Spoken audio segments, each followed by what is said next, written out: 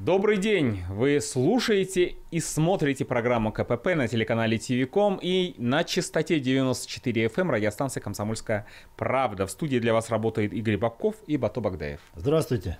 20 марта президент Украины Петр Порошенко утвердил новое решение Совета национальной безопасности и обороны о украинских санкциях против России. Указом главы Украины – об ограничительных мерах санкции введены против 850 физических лиц из России, Луганской Народной Республики и Донецких Народных Республик. В список попали бизнесмены, политики, депутаты. Среди них и два наших земляка, депутата единоросса Государственной Думы Алдар Дамдинов и Николай Будуев. Как написал сам Николай Робертович, мне Миколе Будуеву запрещен въезд на территорию Незалежной на три года и арестованы все мои активы, которых в Украине у него не оказалось. Что прокомментировать эту, эту информацию? Вероятнее всего, что Порошенко э, скорее всего, выполнил ту основную и почетную миссию, которую должен был выполнить народ Бурятии – запретить въезд на территорию Бурятии двум э, высокопоставленным чиновникам, депутатам Госдумы. Я так полагаю, да? Да, действительно. А, народного доверия, конечно, эти два наших депутата не оправдали, хотя шли в Государственную Думу под красивые лозунги о том, что будут бороться за интересы народа Бурятии. Ну а что мы видим в результате? Два наших брата-акробата в Государственной Думе проголосовали за увеличение пенсионного возраста, за пенсионную реформу, за увеличение НДС. Недавно они вообще проголосовали за то, чтобы э, дети платили алименты своим родителям. Э, женщин, предпенсионного, да, предпенсионного возраста. возраста. И, в общем, проголосовали за ответственность э, за оскорбление власти, так называемый этот скандальный закон, за ограничительные меры в интернете. В общем, везде засветились, где только можно. В общем, везде голосуют э, только не за народ, только не за жителей республики. Я так полагаю, да? Поэтому что мы должны сказать? Э, поддерживайте, уважаемые телезрители и радиослушатели, санкции, которые вел э, Петр Порошенко против двух депутатов от Республики Бурятия, или не поддерживаете. Безусловно, это ваше право. Если у вас есть на эту тему какое-то конкретное мнение, которое вы можете выразить, вы напишите нам письмо на Барсоева 13 в телекомпанию ТВКом в программу КПП Багдаеву и Бабкову. Тем более у нас сегодня поступило одно из писем, которое я э, процитирую, скорее всего даже прочитаю несколько позже, и мы дадим, соответственно, оценку и озвучим все, что было сказано в этом письме. О скандалах и драках. Директор Бурятского научно-исследовательского института сельского хозяйства Бурнисх Лопсан Будажапов влепил две пощечину и трижды пнул по ногам журналиста телекомпании АТВ Буда Мунхоева. А видео уже стало достоянием а, гласности, опубликовано в интернете, вышло в эфир. Съемочная группа прибыла в институт для того, чтобы выяснить, а, почему на земельном участке, принадлежащем Бурнис в Каленово в Лугинском районе, функционирует кирпичный завод. По сведениям телекомпании, без оформления земельных отношений и э, принадлежащий гражданину Китайской Народной Республики.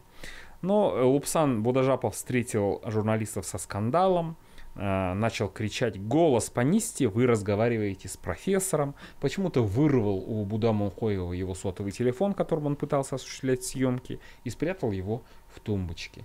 Ну, полез драться, кричал, говорил, что телевидение, тележурналисты это позор, телевидение, в общем, неадекватно себя вел. Чем он, как вы думаете, был так сильно напукан? Вроде уважаемый человек, профессор, руководитель научного учреждения должен быть образцом, я думаю, интеллиген, интеллигентности, воспитанности. Ну а мы вот здесь увидели, ну, настоящего какого-то жлоба или что, какой-то такой, ну вообще низкосоциальное поведение. вероятнее всего, что, наверное, за такое низкосоциальное поведение мы должны на нашей программе а, дать ему прозвище, которое просто обязано будет прижиться в среде народа. Профессор-кикбоксер тире хам. Вот так. Ну, в принципе же а, бывают Не кикбоксер, такие... а хам-боксер. А, ну, может, хам-боксер. Или, может быть... Хан-боксер. Или, может быть, та информация, которая а, мы недавно озвучивали о том, что сегодня президентом Калмыкии, главой Калмыкии стал кикбоксер, чемпион мира Бату Хасиков. Может быть, это произвело на этого псевдопрофессора информация такое, может быть, она вдохновила его, и, может быть, он посчитал, что любую информацию, которая претит его самолюбию, его чистолюбию, он должен принимать с ноги, а еще и добавлять с руки. Поэтому, конечно, жалко, что этот э, журналист не дал ему сдачи. Я думаю, что нужно давать сдачи всегда. А, на любое проявление агрессии нужно э, однозначно отвечать э, адекватно. Поэтому стесняться не нужно и строить из себя святошу.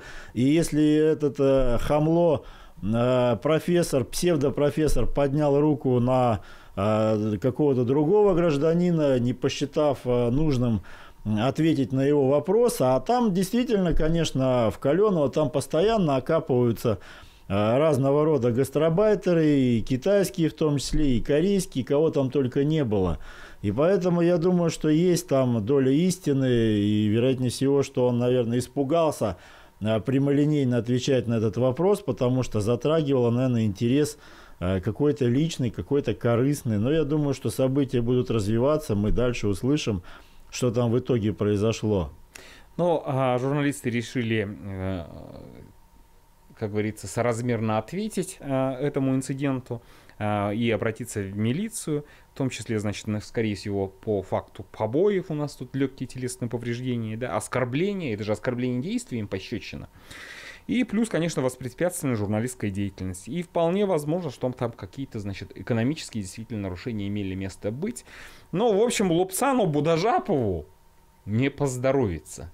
Зря он это так сделал, зря он себя не сдержал, но вполне возможно вот в социальных сетях, а, что пишут, что он так себя ведет и по отношению к своим подчиненным. Скорее всего, если по отношению журналиста такое допускает, я не знаю, за закрытыми стенами этого института что-то творится. Помнишь фильм «Джентльмены удачи», там, где был главарь шайки, доцент? Поэтому вероятнее всего, что, наверное, профессора скоро переименуем. Не профессор. Доцентом. Доцентом надо его назвать. Поэтому доцент он будет. Белый доцент. А, министр здравоохранения России Вероника Скворцова заявила, что смертность среди мужчин в России составляет 736 человек на 100 тысяч населения. А, задача национального проекта здравоохранения снизить эту планку до 530. Между тем, в Европейском Союзе смертность среди мужчин составляет 200 человек на 100 тысяч населения. То есть практически в 3,5 раза ниже, чем в России. Главная причина, по словам министра здравоохранения, 70% смертей мужчин трудоспособного возраста – это последствия употребления алкоголя. Самая уязвимая категория людей э, – это возраст 50-60 лет.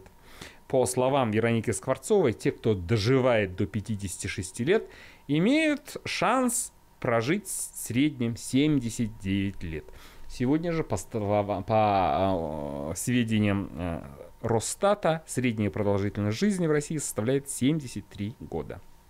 Ну, я так думаю, что, наверное, Вероника Скворцова несколько заблуждается а, в, своей, в своей информации, в своей точке зрения, по той простой причине, что до 56 лет те, которые граждане доживали, как она говорит, и у них есть шансы дожить выше 70 лет, это когда пенсионный возраст наступал для мужчины в 60 лет.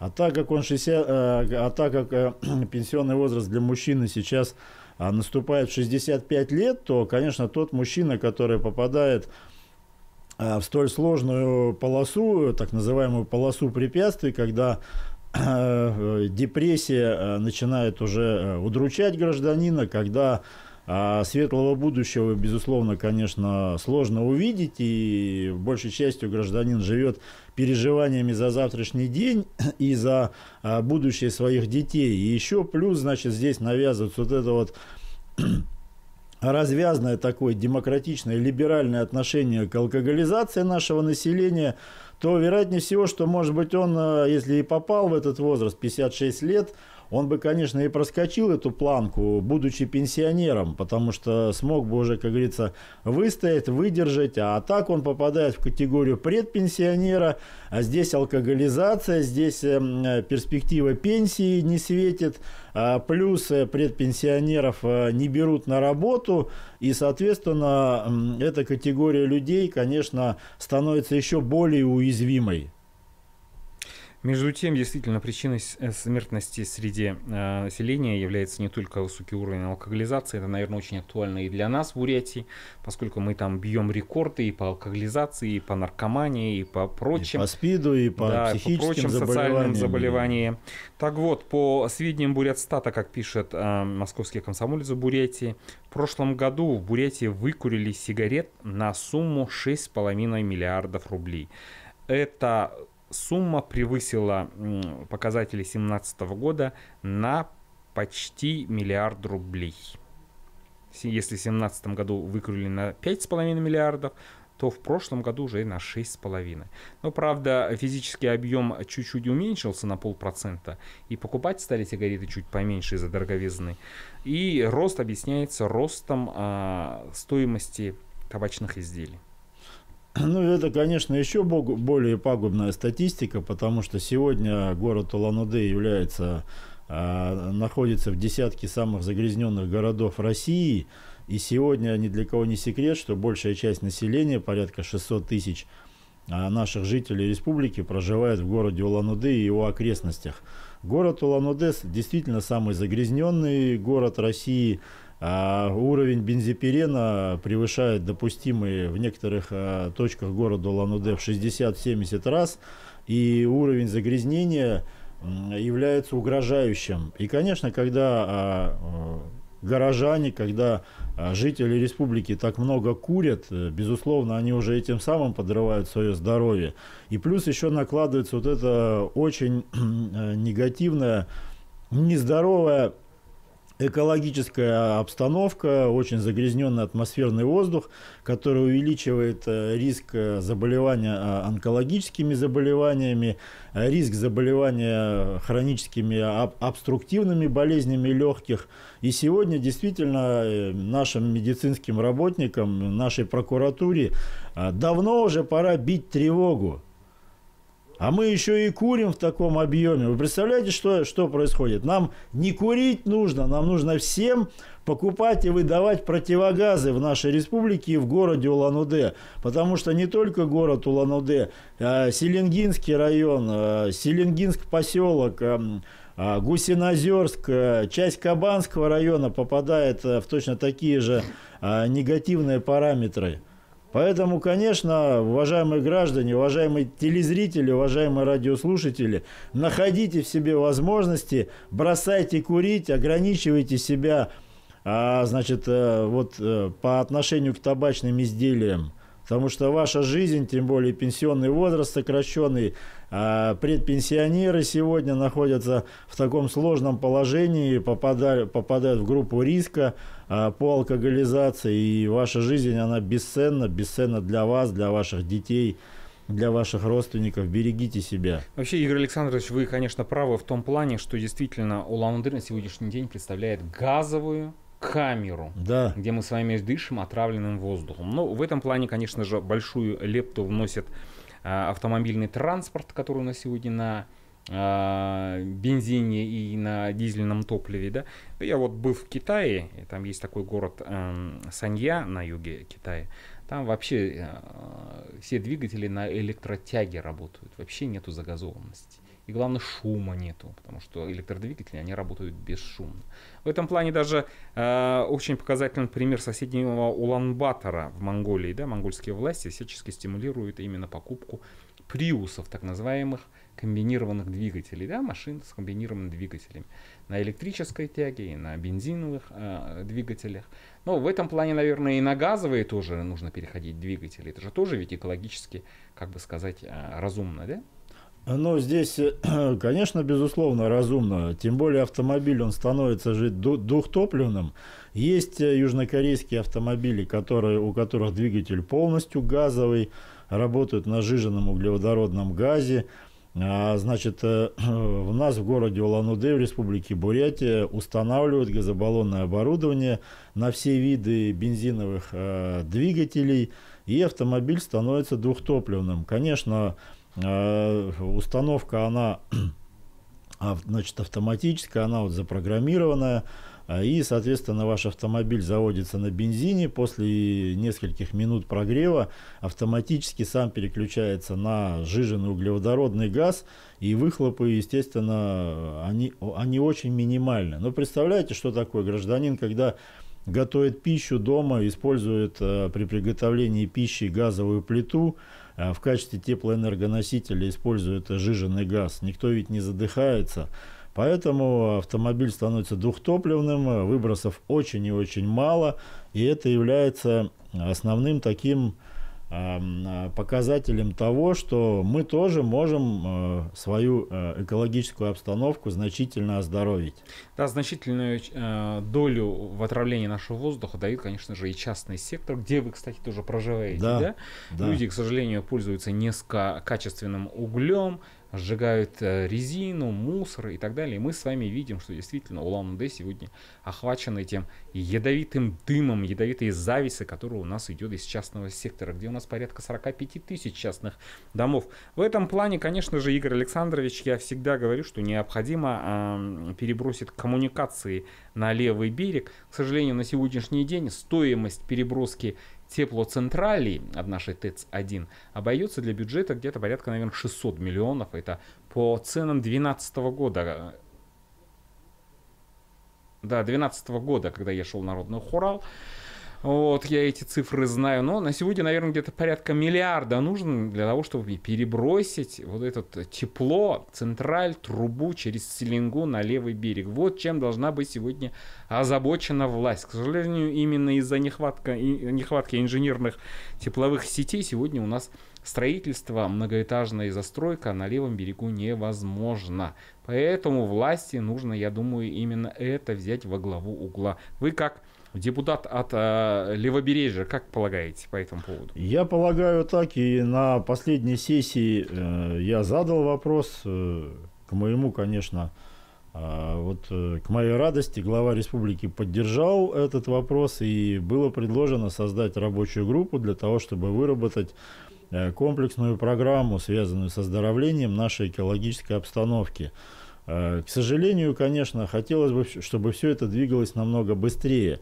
Да, большая часть индивидуальной жилищной застройки сконцентрирована именно в Селенгинской долине и Волгинский район. Э, большая часть э, города Улан-Удэ – представлена индивидуальной жилищной застройкой. Я думаю, что тех сумм, как вы говорите, миллиард на переброску тепловых сетей тратить, конечно, нецелесообразно. Нужно в республиканском бюджете предусмотреть а, компенсацию на использование в качестве теплоэнергоносителя электрической энергии. У нас э, каждый, каждый индивидуальный дом получает а, технические условия на 15 киловатт. Поэтому 3-4 киловатт а, плюс установка а, электрического котла, а, плюс установка отдельного электросчетчика для того, чтобы мы могли субсидировать из республиканского бюджета нашим энергетикам на компенсацию разницы в цене. И нужно устанавливать э, электрические обогревательные приборы, в частности электрические котлы, отапливать э, свое помещение электроэнергией, не сжигать уголь, э, не сжигать дрова, потому что мы вырубаем свои лесные массивы и, соответственно, экологическая обстановка значительно оздоровится. Потому что я а длительные годы проживаю на левом берегу. Вот в свое время, когда в начале 90-х годов когда не было вот таких вот беспрецедентных мер безопасности у энергетиков, когда они плохо контролировали хищение и воровство электрической энергии, то левый берег не был так загрязнен, потому что многие вот э, пользовались халявной электроэнергией, отапливали свои дома электрической энергией, и, конечно, такого колоссального смога на левом берегу не было. А мы и так находимся в Селенгинской долине. Еще левая, левобережная часть находится еще в дельте Селенги, понимаешь? Она еще ниже по уровню. И, конечно, весь смог оседает на вот этой части города Улан-Удэ и приносит, конечно, непоправимый ущерб здоровью наших граждан. Но в этом плане я всегда повторяю и неоднократно а, о том, что примером должна служить для нас Монголия. Да, в Уламбатор мы знаем с вами. Да та же Иркутская область, далеко ходить не нужно. Но не будем с этим экономическим гигантом себя сравнивать. Давайте с нищей Монголией себя сравним. Там в Уламбаторе власти нашли, изыскали денежные средства и так из скудного монгольского бюджета средства на то, чтобы сделать бесплатным электрическую энергию для частного сектора после 12 часов ночи. Я думаю, это существенно снизило бы именно э, выбросы в атмосферный воздух. Между тем, Бурятстат пишет очень интересные э, сведения по тратам, которые осуществляли жители Бурятии в прошлом году. На сотовые телефоны было потрачено практически полтора миллиарда рублей. Здесь намечен э, рост объема продаж. Также э, жители Бурятии потратили на покупку автомобилей почти 5 миллиардов рублей, тоже отмечен рост. Э, начали активнее покупать, покупать меховые изделия, полтора миллиарда рублей затратили. Э, на одежду другую э, более миллиарда рублей, а вот на книги жители Бурятии, к сожалению, потратили всего лишь 48 миллионов рублей. Это ничтожная цифра по сравнению с 7 миллиардами, которые тратятся на другие предметы потребления. Ну, конечно, когда человек читает книги, то не происходит э, оскудевание ума. То есть ваш ум остается таким же гибким, таким же подвижным, э, вы не теряете словарный запас. И, конечно, удручает эта цифра, что такое количество, минимальное количество денег э, тратим на покупку книжных изделий. Конечно, книги нужно читать, и книги нужно читать в любом возрасте. А тем более, когда вы в возрасте, просто переключайтесь на книги, потому что все эти гаджеты, все это ваше зависание в интернете, в социальных сетях и так далее, все это условное общение, оно абсолютно ничего не дает, ни экономики. Ну, ну, ну что оно может дать? Ни экономики, ни здоровью это ничего не дает. То есть ваш карман от этого никоим образом не прибывает, э, гробите свое здоровье, э, гробите свое зрение, зрение своих детей, поэтому книги нужно читать больше. А тем более сейчас очень много хороших, интересных книг а, продается а, в книжных магазинах. Смотрите и слушайте программу КПП. Всего доброго. Всего хорошего.